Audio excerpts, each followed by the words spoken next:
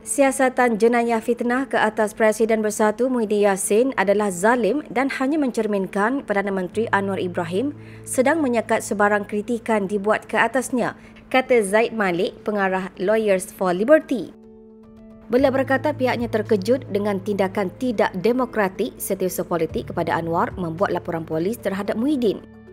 Terdahulu Muhyiddin bertegas pendakwaan bersabit projek Jana Wibawa yang dikenakan kepadanya adalah salah guna agensi penguatkuasaan untuk penganiayaan politik.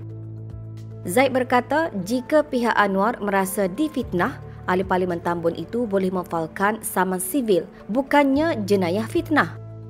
Justru LFL menggesa Anwar mengarahkan pembantunya menarik balik laporan polis dengan segera dan membawanya ke mahkamah sivil.